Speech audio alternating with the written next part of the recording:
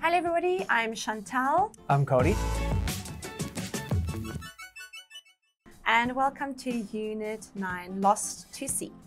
In this unit, we are basically talking about islands and why they are important is because of a term called the Exclusive Economic Zone, EEZ. Hmm. Exclusive. Exclusive. The unit specifically also focuses on Japan, um, and the Japanese territory is composed of around 7,000 islands, right? So many. And yes, because there's so many, there is apparently a bit of a dispute going on about a specific island, Compose. Compose. Dispute. Dispute. What comes to your mind when you hear the word island? Fiji. yeah. Okay, Uh, right. Specifically, why Fiji?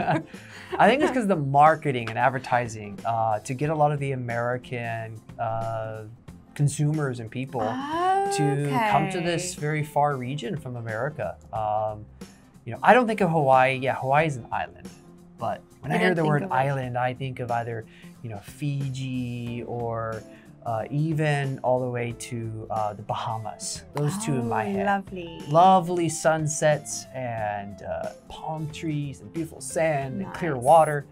That's what I imagine when I when I think of island. Same. I immediately go tropical island. Yeah. And I'm thinking, I'm thinking more on the lines of closer to Africa, like Zanzibar, or Mm. we have Mauritius, but it's always tropical yeah, yeah. for yeah. some reason. Right. I don't know why. I would agree. Americans do think of the tropical island. Yes. Yes. And speaking of America, Mm-hmm. does your country have any islands around it? Uh, yes, actually. Most of them are in the Florida Keys. Yes. Uh, that's the closest islands to America. Um, now, Texas also has, they call islands. Mm. Uh, they're very small along the southern uh, area Mm. of Texas, southeast area on the Gulf of Mexico. So they're just these Um, little specks of islands all along. Speck. Speck.